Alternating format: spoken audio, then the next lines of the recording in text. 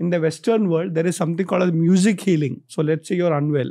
So if you actually listen to certain music for so many hours a day, you'll be surprised that element goes away. That's where bhajan comes in. So you need to have emotions and you should have intelligence also. Hmm. So bhajans invoke that particular thing. That's why you have these different musical instruments, different ragas, and they invoke those particular bhav in you. Be careful next time you'll see some lemon being there, or maybe some you know vegetable with some colors around it and all. Don't go near it. you mean like a plastic bag? Yes, Really? yeah. Don't even go behind it. You never know what they have invoked and put it on the road. You see this a lot in Indian cities. Oh, especially tier two cities. Really? Like you just see some food lying down on the Yes, road yes, in a closed plastic bag. I've always assumed that someone's left it for beggars to eat. No, no, no. You never know. So something which is unknown because what power they have put into that, you don't know. So, over the course of three years of running the show, we've spoken to scientists, we've spoken to astronauts, actors, sports people, entrepreneurs, people from all walks of life. But the data tells us that the hottest, most requested podcasts are related to dark concepts like black magic, like ghosts, like the occult in general. This is another conversation just like that, but with a slight spiritual bent we broke down the four Vedas. This is a fantastic introductory podcast to the subject of Indian scriptures. This is Dr. Radhakrishnan Pillai who returns on TRS once again. Make sure you follow TRS on Spotify. Every episode's available on Spotify 48 hours before it's available anywhere else in the world. Dr. RKP returns as an all star on TRS once again.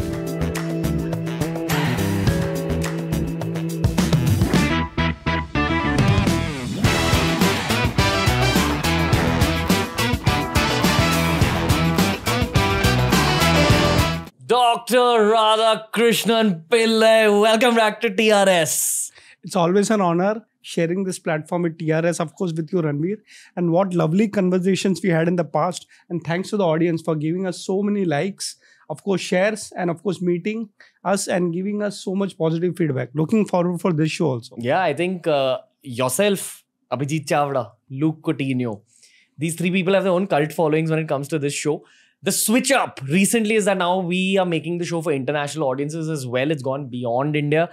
India's always been a knowledge capital, sir. Uh, I think the world knows about the Bhagavad Gita, the Mahabharata, the Ramayana. What people don't know about is the texts that came before these texts, the texts that have mystical elements, and the texts that have um, talk about ghosts and talk about som and talk about psychedelics and talk about all these Occult practices. occult practices. We're talking about the Vedas in this one. So I don't even know where to begin the story. So you help me out. Where do we begin? I will begin with a story. Okay. So, first of all, Vedas are called as Apurusheya. So, let me explain that to you. Apurusha means not written by men. Not written by men. or human beings. Purusha means human beings. Without the help of human beings, Vedas have been created. So it was created by like an alien race? Now, I would say, you know, let's look at the other way. Let's say you have a camera. Okay, somebody created it.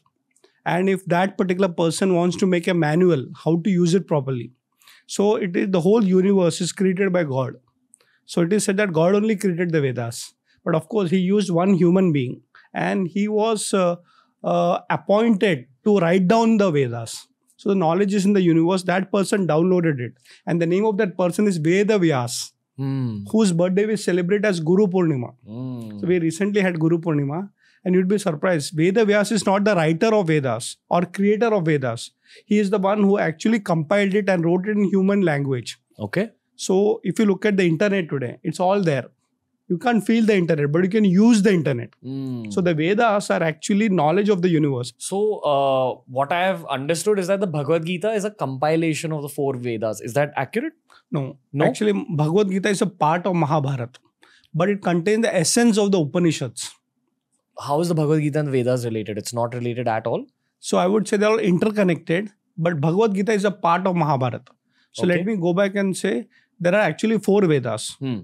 Classified, the whole knowledge. The first one is called Rig Ved, Sam Ved, Yajur Ved, and of course, we have the Atharva Ved, where all the occult practices and lot of rituals are mentioned. They're all different methods of reaching the same God.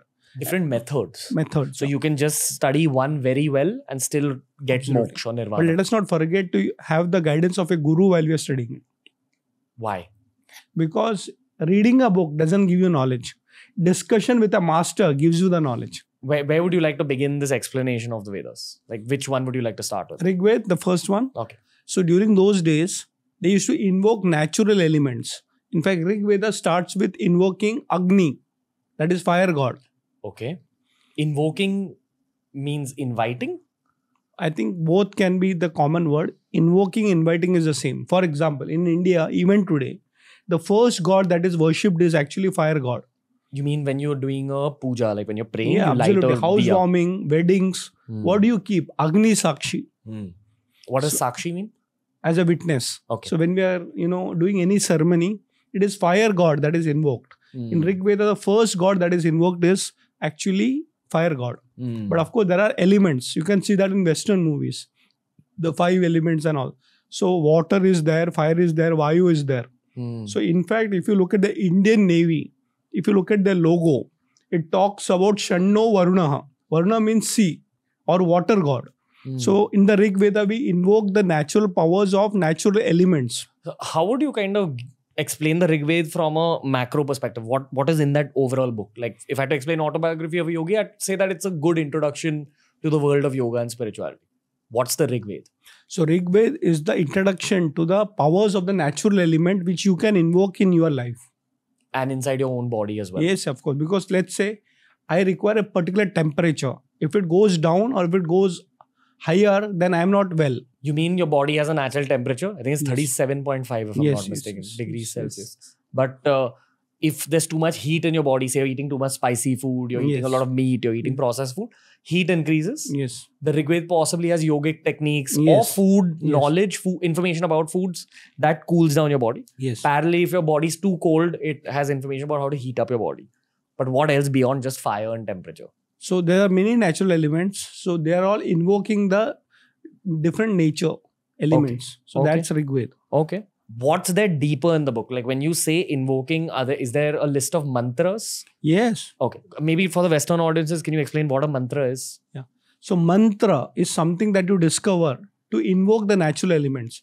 For example, if you've seen any puja, there is a particular Panditji who will invoke that Lord. Okay. Here's how I understand mantras. Um, I still look down upon bhajans. The word bhajan is basically you can think of it the, the Catholic parallel, the Christian parallel is hymn. You know, like Hymn. yes. religious songs. I still question what the logic behind that is. As I grew older and I discovered bhajans and kirtans, I've realized that they're all made in very particular tunes. Yes. And if you sing along or if you even hum along with it, it kind of changes your breathing pattern slightly. Your breath always has an effect on your heartbeat, and your heartbeat always has an effect on your perception of reality because it affects your mind. Yes. Therefore, bhajans affect how calm you feel. Usually, they usually calm you down. Oh, interestingly, we have heard about astral travel and also planchettes. Have you heard about planchettes? No, no. So what happens in the Western culture? Suppose you have to invoke a dead soul. You can actually invoke them and get them in a physical form. Like Ouija boards. Yeah, boards. Exactly. Hmm. So let me give an example in the Mahabharata. How were the five Pandavas born? So their mo- mother Kunti actually could invoke the Devatas. So if you look at it, there was no biological way of uh, you know producing these children. So how did they happen? So all these five Pandavas were actually the children of gods. So Kunti had the power of invoking the mantras and these particular gods. Hmm.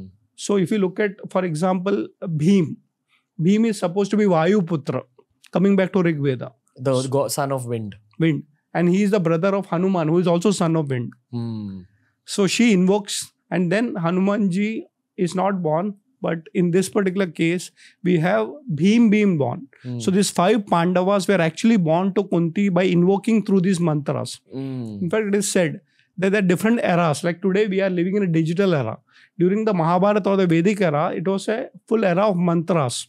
I'll give an example. You know, if you look at the Mahabharata war, you must have seen some television serials. They never had missiles like what we make today. They could take a blade of grass and they would invoke a mantra, and that particular blade of grass actually became a missile, a Hmm. Brahmastra. So Okay. Brahmastra is not the discovery of a missile or the invention of a missile in a particular laboratory, like modern day warfare. It is actually invoking the mantras and giving the power to that little blade of glass, which can actually act as an arrow. Let's talk about Brahmastra a little bit because now uh, that's the hot topic. Yeah. So Brahmastra is a movie being created by Ayan Mukherjee. It has Ranbir Kapoor and Alia, but it aims to kind of I won't call it give India its own superhero genre, but it's giving India its own cultural genre because they are inspired from ancient Indian culture, Yeah. which contains a lot of elements related to superheroes and superpowers and mystical elements just like this. Uh, in the Mahabharat, there is a particular weapon called the Brahmastra, which I believe Arjun, who's the main hero basically of the Mahabharata in some ways, what do you say? While there's a bunch of heroes, he's supposed to be the most fearsome warrior and the, the best at warfare, and he comes out at the top in the end. He gets the Brahmastra as a gift from Shivji, from Shiva, after meditating over it, uh, after performing some kind of penance.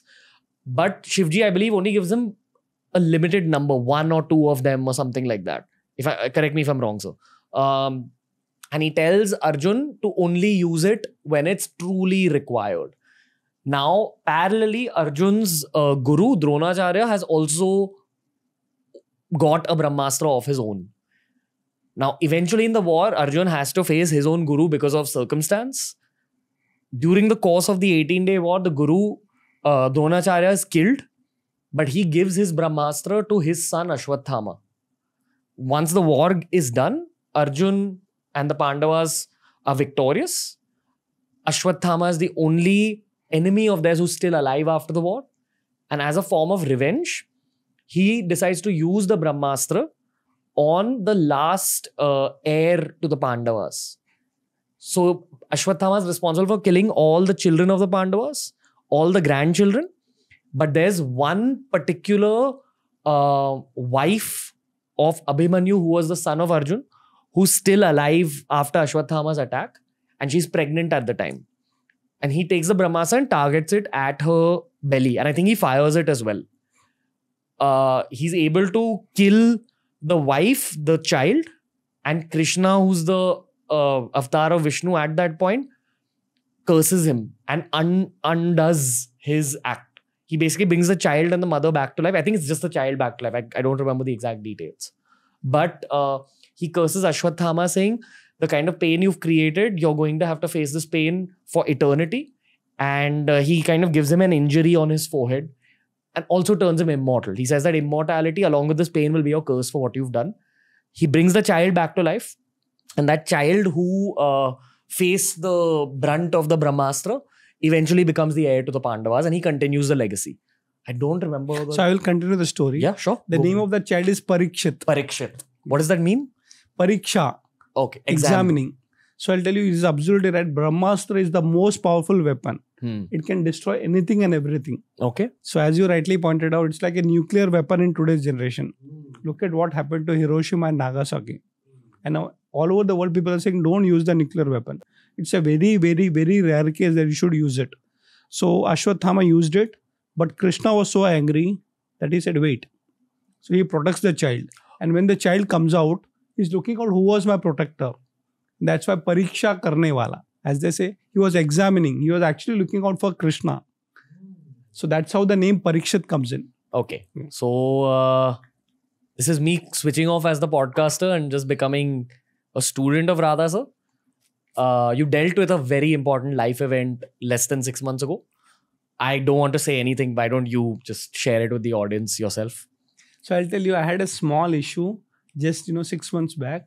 It so happened that you know I started throwing up, vomiting, and then uh, it was not stopping. There was nothing in my stomach, so my wife and my friends and everybody took me to a hospital. Fortunately, the doctor is also a student of mine. So they diagnosed it and saying that you know the, because of the BP being shot up, it affected my brain. There was a small bleeding, and I was hospitalized for ten days. And then of course I came out. Thanks to the doctors, the whole team, and the whole family. Of course, my wife Sureka helped me recover. But I realized one very important thing. You know, I recovered so fast because of two things. One is the spiritual thing. My father told me, you know, remember this is a positive thing. Imagine if I had got this maybe when I was 80. You know, it could have been fatal. but you'll be surprised i lost a lot of weight i came back into that positive state of mind and believe me it is only because of the spiritual practice that my health is recovered meeting your father is also its own experience, sir. Taking away nothing from the experience that you had. Like meeting your father is just mystical almost. Like he's got this very different energy about him.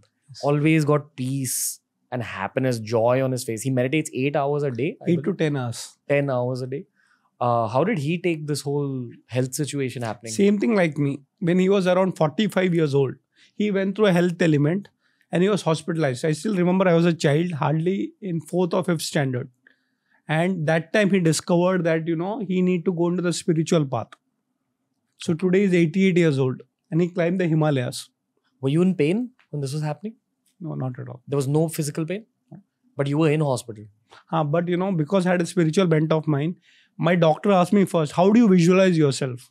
I said, I am visualizing myself as more stronger and fitter after this. I think that's how you should be.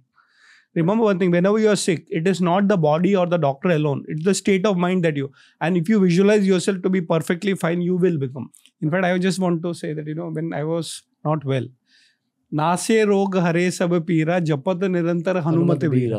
So hmm. नासे रोग so the elements of disease will go away if you continue to chant Hanuman ji so believe me that is only one part of the whole Hanuman Chalisa we know of so many people I know of an experiment being done by a rishi rishi means a find friend of mine who's a scientist is a Sanskrit scholar so you know I told him there is one person who is not well in set give me's background so he was always in the stage of death He went back to the Vedas. He found out a particular mantra and he chanted it over seven days and the person recovered back to health.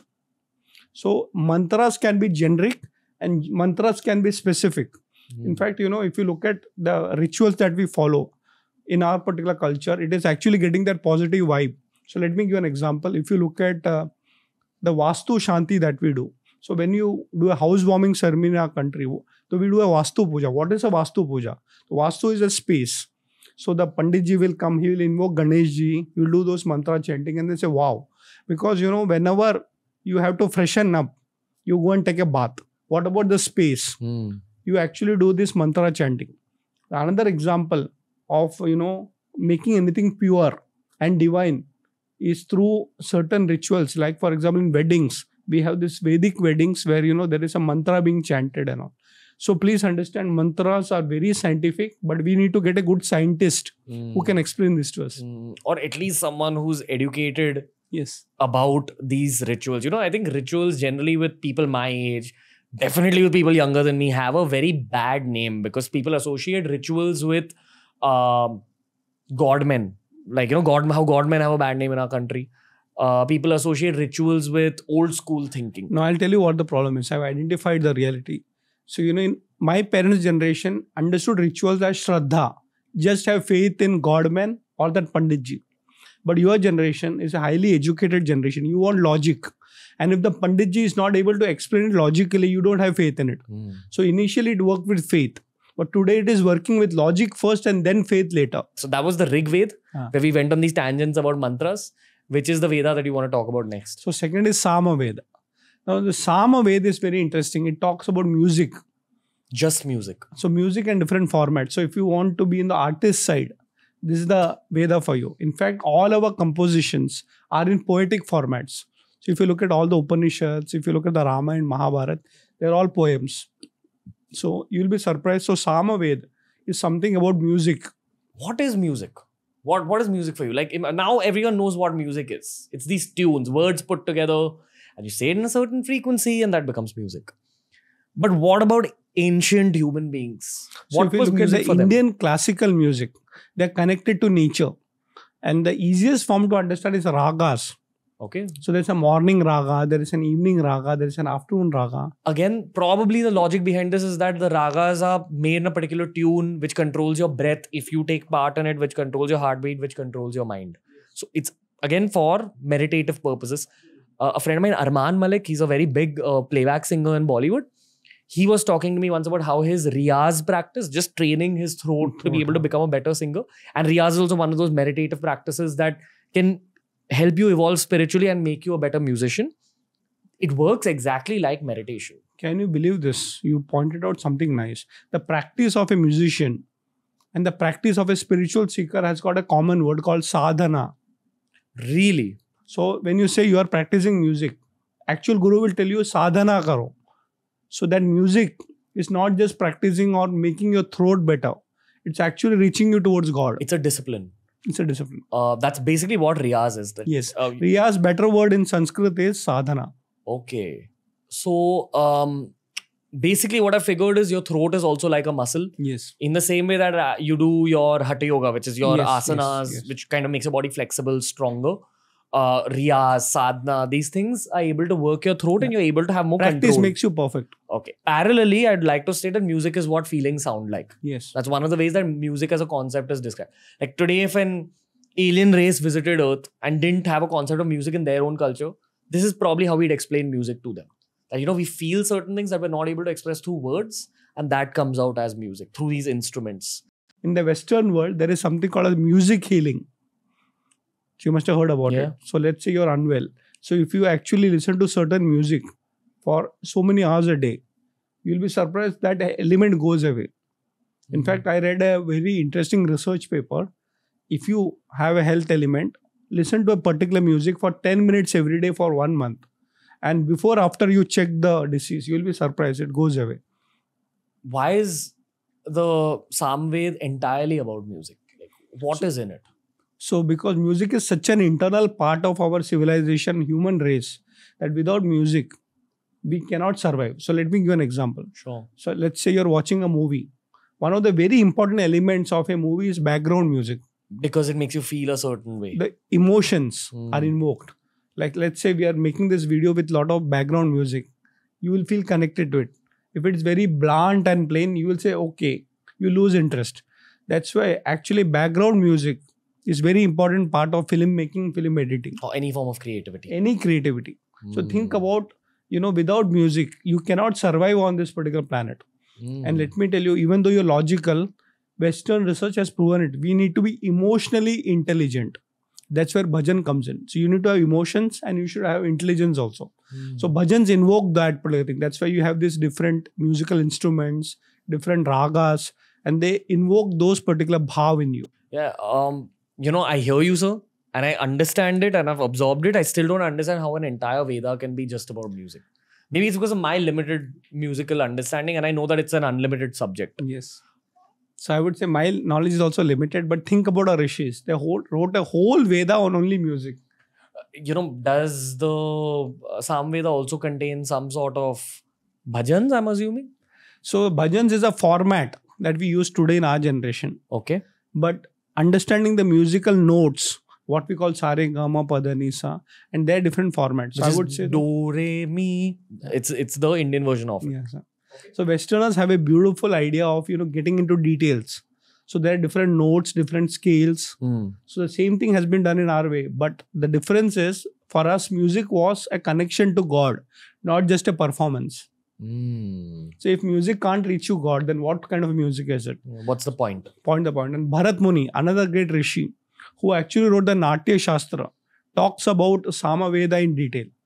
Hmm. So maybe we can get a music expert to speak on Samaveda. Okay, let's talk about the next Veda for now. So Rig Ved, Samved, Yajur Ved. Okay. Lot of rituals that we talk about. It's there in Yajur Ved. Okay. So, you know, we have a great culture in India, and one of the philosophies is called Mimamsa. What? Invoke Mimamsa philosophy. Maybe we can have a separate discussion on the nine Indian philosophies. Okay. Vedanta is just one of them. What is Vedanta, the word? Okay. So, if we look at it, if you split the word Veda and Anta, the essence of the Vedas is called Vedanta, which is primarily written in the Upanishads. Like the summary of the Vedas. Summary of the Vedas, essence of the Vedas. What does that mean? So let me put it this way: like four Vedas we're talking about, they are sub-classified into another four Ved- subcategories. Like each has its own four Yes. subcategories. So they are called the uh, you know the Samhitas, Aranyakas, Brahmanas, and Upanishads. So Upanishad is a discussion between the Guru and the Sishya, and there are 18 main Upanishads, and now new Upanishads have been discovered, and there are more than 108 Upanishads. It's sort of maybe sequels to the Vedas to understand the Vedas better. So it's like this, you know, let me put it in an example. Let's say you go to a doctor who has studied all the medical science. Now you're not interested in studying the whole uh, knowledge of the medical science, which the doctor must have spent four years to understand. Mm. You want an immediate solution. And you say, Yaar, mera pet dukh hai. my stomach is aching, there is some problem. Now you give me the essence of your knowledge. So what he, the doctor or she will do is sub- prescribe you some pills or medicine. Hmm. So that's an essence. Hmm. That doesn't mean he only can do that. He has done research for so many years. Hmm. So, if spirituality in India, the philosophy of India, can be summarized in essence, that is Vedanta. Hmm. Okay. So, the essence of the Vedas is Vedanta, which is contained in the Upanishads. Hmm. Wow. Okay. This is like a subject that just keeps getting unpacked.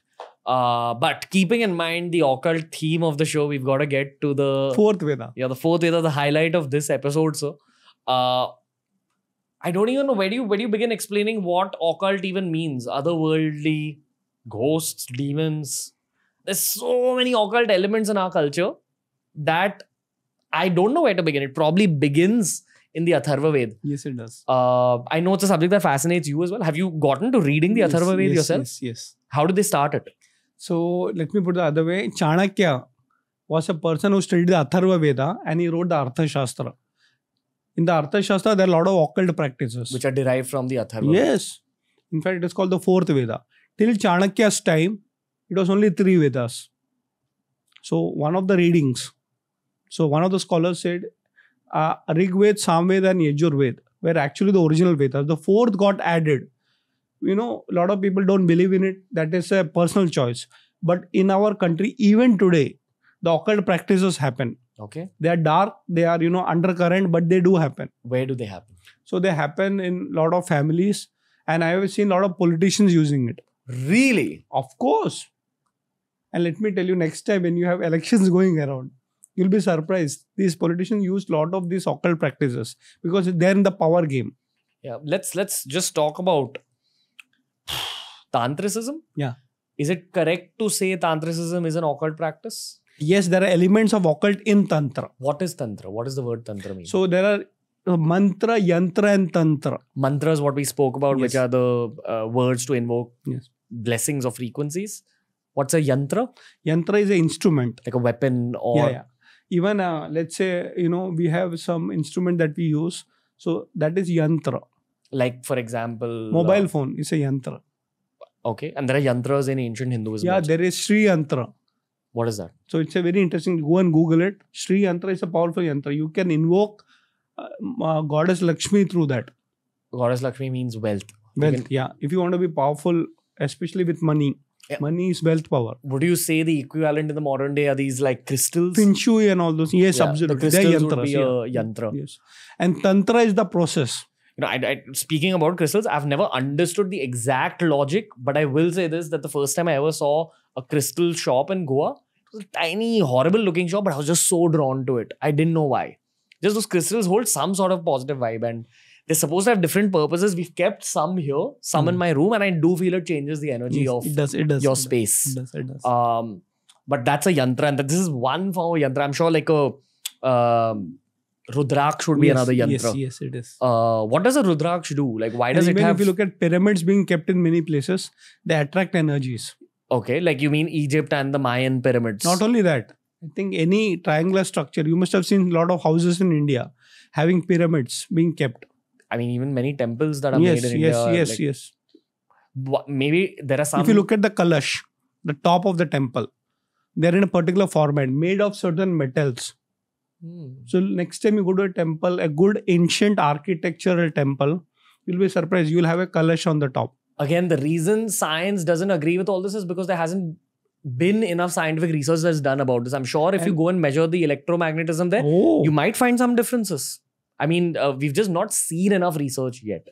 because we're not uh, looking at it scientifically.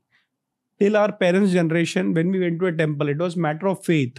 Hmm. But today it's a matter of logic. So look at all the temple architecture logically, scientifically, and measure it. It's actually energy management.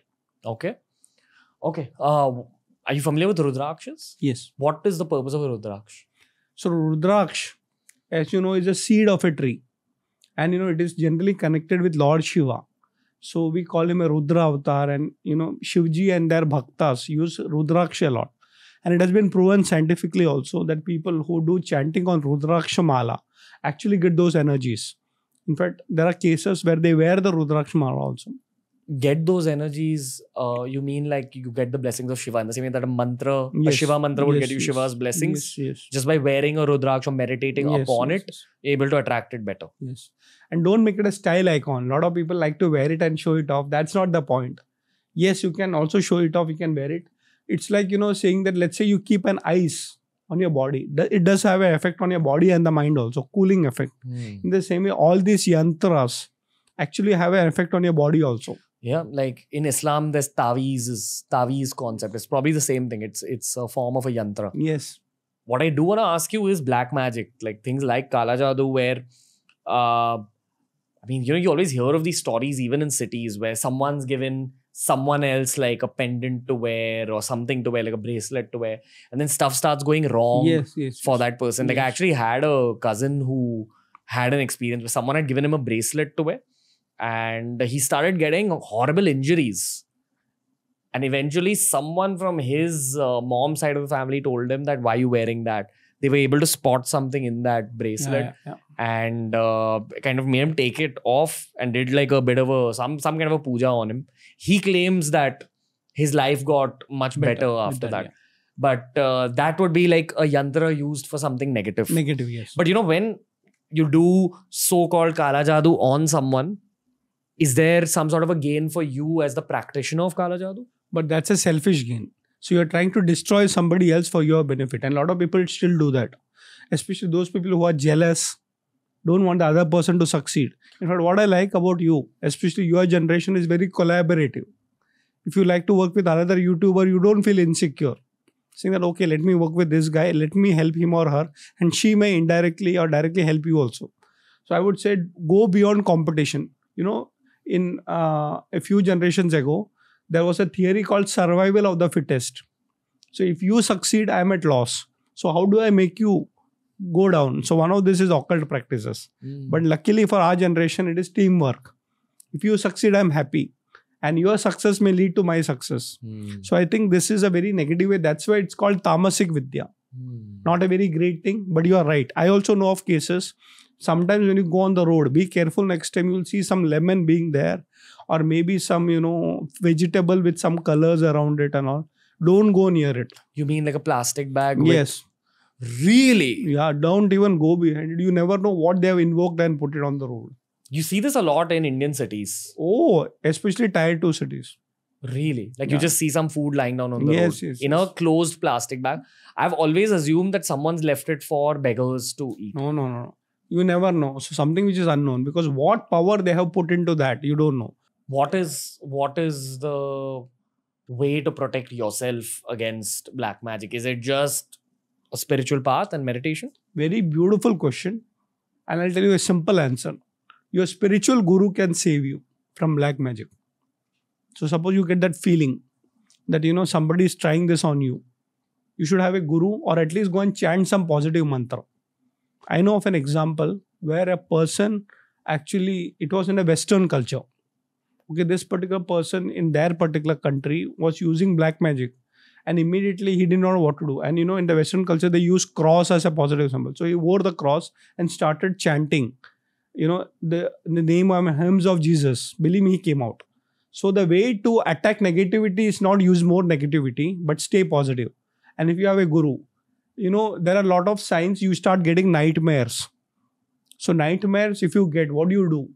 And if it is continuously getting repeated. I know of a case a child used to get up at one o'clock in the night continuously and used to scream. And this child, maybe one day, two day, it was looking like a nightmare. And the mother and the father got really worried. And the child was hardly four years old. So she could not express what the problem was that. So they went to doctors and they went to psychologists. And as there is a beautiful saying, when allopathy doesn't work, when homeopathy doesn't work, then Tirupati works. so they went to this family priest in India, every particular family will have a priest. It is called Kura Guru, not Cool Guru, Kula Guru. And the Kula Guru saw this and thinking somebody is using some black magic against this child. It was a real case. So, what is the solution? So they said, no, let us do this particular puja. So they did a counter thing. not against that person to make that negativity come back. And believe me, after that puja was completed, that whole uh, nightmare started going away and she could sleep peacefully. Do dreams and nightmares hold any significance in our culture? 100%. In our Indian culture, it is very clear that what you dream is actually part of your being. Okay, let me break that down. So there's a concept called Sharir Traya, Yeah. which means that anyone's body or anyone's sense of self is made up of three parts. Yes. The physical body, uh, which is Sthula Sthul Sharir. The um, the astral body, which is sort of your ghost. Yeah. That is the Sukshma Sharir, and the Karan Sharir, which is your causal body or your Yes, soul. it's just yes. This is light. Vedanta. This is Vedanta. okay. And this whole concept is called Sharir Traya. Yeah. So now continue, sir. So it's related to the astral body. That's what you're trying to say. Yes, yes. Okay. So your body is not only this body. Today we have aura readings also. Mm. So there are colors of aura. Hmm. In fact, now in the Western world, they have started discovering instruments to measure your aura. Okay. So if you are a sattvic person, more on the spiritual side, you know there is an element we can measure. It's more white in color. If you are on darker side, you can make out. So Lord, I have met sages, mahatmas. By looking at your body, they can tell you that you are not a nice person or a nice person. Like for example, you know certain people when you meet, you don't connect to them because they say the vibes don't match. What do you mean by vibes? The thought process doesn't match. Somewhere you feel you know repulsive, or sometimes you feel attracted and that's why it's very important to know that you know this karan sharir sukshma sharir and sthula sharir are all interrelated so coming back to your dreams it's actually what you believe yourself and what you think about in the daytime when you're awake it is a reflection of what you see in the night time Okay. so that's why the counter to it is positive affirmations, the law of attraction. So if you chant the affirmations, you know, in our culture we call it mantras. Okay. Hmm. So if you use it, all these negative thoughts will go away and you become a positive person. Hmm. Sort of like the gym for your soul. Yes, absolutely. Hmm. Mental gym. Hmm. You know, let's end with one uh, kind of question I've had for a while recently, which is the spine and its role in our culture, its role in spiritualism. People don't understand how important a role your spine and your back plays in your own spiritual growth. Parallelly, let's briefly speak about Kundalini as well. So, uh, would I don't know? Would you like to begin In this fact, topic? that is my current topic of research. Kundalini. Kundalini and spine. let's let's kind of give the listener some perspective if someone doesn't know anything about what we're talking about Okay. So the spine in Indian culture is called as Meru Danda. okay Meru Danda. Meru means the center. Danda means your spine, which is like a danda or a bone. You'll be surprised if your they say if your spine is fit, you are healthy. Hmm.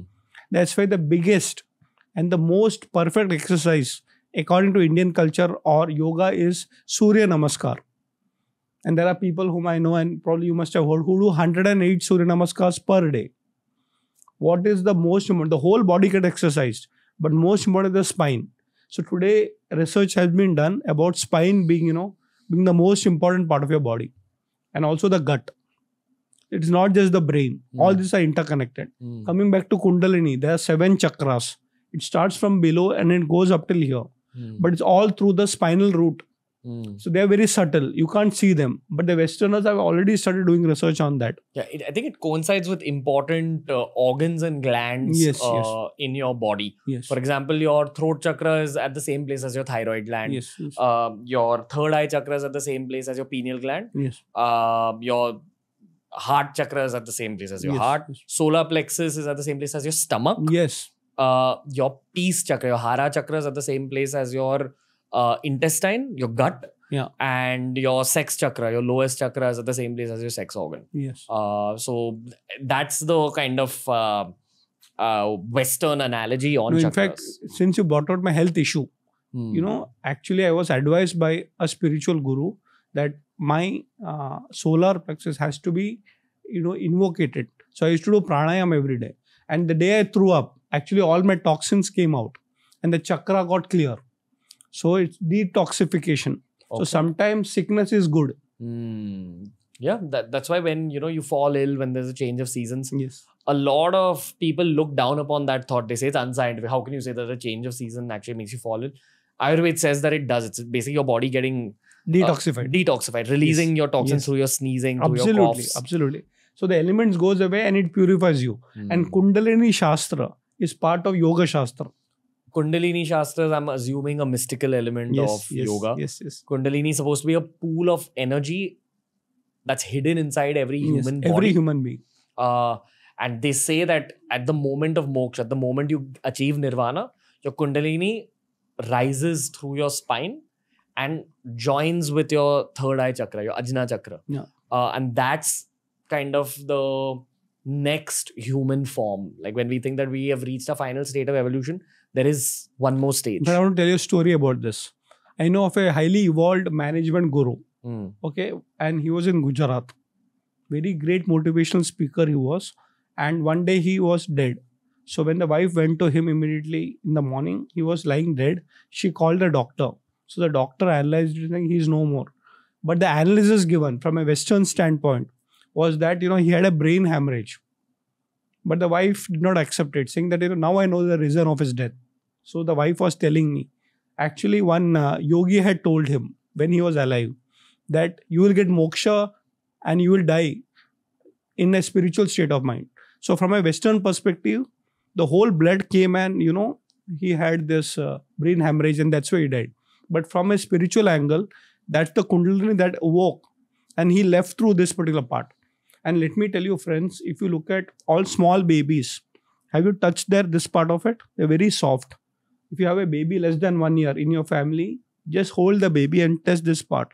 You'll be surprised. This particular skull over here has got a pathway to enter and exit. So if you can exit your prana through this particular path, your kundalini has awakened and you'll 100% get moksha. In Hindu culture, every god brings their own blessings. For example, if you pray to Hanumanji, you're supposed to get gain strength, gain humility, gain mental strength and stability. Uh, if you pray to Shiva, uh, you gain power, you gain a sense of detachment. Uh, when you pray to Mata or the mother god in Hinduism, one, what I've understood is you're supposed to pray to her for extremely lofty material gains. If you want to gain power if you want to have that next big jump in your life. But two if you're going to pray to her you need to understand that it's energy that cannot be handled by everyone. This is what i've understood. And you have to work your way up. You can't just directly pray to her. You have to probably pray to other gods first and then earn your right to pray to her. Uh, some people naturally sense sort of a, an attraction to praying to mata So I'll, I'll explain that to you. Yeah. In the Bhagavad Gita, chapter 17 talks about this. Mata energy. Not exactly Mata, but the kind of a prayers you do. Okay. So they say the Sattvic people, the pure souls, pray to gods. So everything is about, let's say, Hanumanji, Ramji, and all those things. But the p- people in between who are Rajasic, who want power, will pray to demigods, not gods. So demigods are Yakshak, uh, Kinnaras, Gandharvas. They're not fully gods, but they're not fully human beings also. But they have certain powers. And there's nothing wrong in being Rajsik. It depends on. no, it depends on your nature. Mm. And the last is called tamasic. They will pray to ghost. They'll pray to dead bodies. So the people who are actually wanting the lowest powers, that's where the sexuality part of it.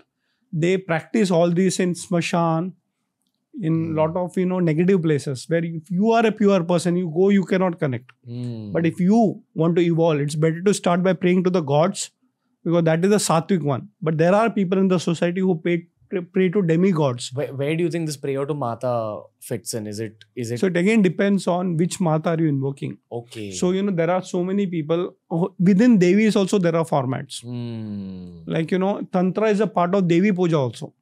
Mm. So certain Devis can give you that. Mm. But so when you say Mata for me, my first thing about Mata is my mother who is pure, who loves me unconditionally. what what is the element of your own parents in Hindu culture? And that, that's what I love about India that it celebrates parenthood so much, which Oh, is why we don't leave ve- our very parents. clear. In fact, we are talking about Vedas. In fact, Upanishads. You should study the Upanishad and Taittiriya Upanishad is a very interesting Upanishad for young generation students. In that, he says, after you pass out, graduation ceremony, you should pray to four people throughout your life. Matru Devo Bhava, Pitru Devo Bhava, Acharya Devo Bhava, and Atiti Devo Bhava. Your mother, Mother, Your father, father. your teacher, Acharya, and Atiti, your visitor guest. your guest. you know, today everybody wants to go to meet somebody only after taking an appointment. But if Mm. somebody comes and rings the bell, you don't like it. Why have you come? But he may be coming in a God's format, or a God may be coming in his format. Hmm. So sometimes unplanned guest can be an opportunity for success. Hmm. So the importance in our Indian culture is that parents, mother is your first guru, father is your second guru, teacher in the school, college, or gurukul is your third guru, and anybody and everybody who comes is your guru forever. Mahabharata says this, you know, the downfall of the mighty. So there is a question being asked: Why do the mighty fall? Because they have not respected elders. And if you respect elders, a common man can also become a billionaire or a successful person. RKP sir, another fantastic episode. More to go. Yeah. Uh, don't have much to say to you. I said the same thing to Luke Coutinho. There's nothing I could say to you that I've not already said. So thank you for being on the show again. What I'd ask uh, the listeners and the viewers to do is drop your comments. What other topics would you like us to break down? Sir is an all-star on TRS and he's going to be back. Any last message for the viewers, sir? Uh, study your own scriptures. okay, there's a lot to unpack. Lords, you're only looking at the tip of the iceberg. Hmm. Deep within, all that we are covering is nothing but our own great Indian culture. And I would go to the extent of telling, you know, it's a global culture. Yeah. Across the globe, wherever you're listening to this particular show, try to study the wisdom of the ages and you will be a different person with a purpose. Mm. RKP, sir, thank you once again. So that was the episode for today. One of the practices that we've begun on this podcast is that we cut it into clips and we upload it on our highlights channel. And TRS Clips as a channel has even more content sometimes than the actual podcast because the podcast we tailor make for the podcast audience. So if you want even more knowledge, you've got to go check out TRS Clips. As for this conversation, there's nothing about Dr. RKP that I haven't already said. I want you guys to tell me in the comment section, DM me, tell me what other topics you'd like us to break down. We have a ritual of meeting every six months and exchanging ideas just like this. I hope you enjoyed today's conversation. For conversations just like this, make sure you follow us on Spotify. Every episode's available on Spotify 48 hours before it's available anywhere else in the world. Beer Biceps and these collaborations with Dr. Radhakrishnan Pillai will be back very, very soon.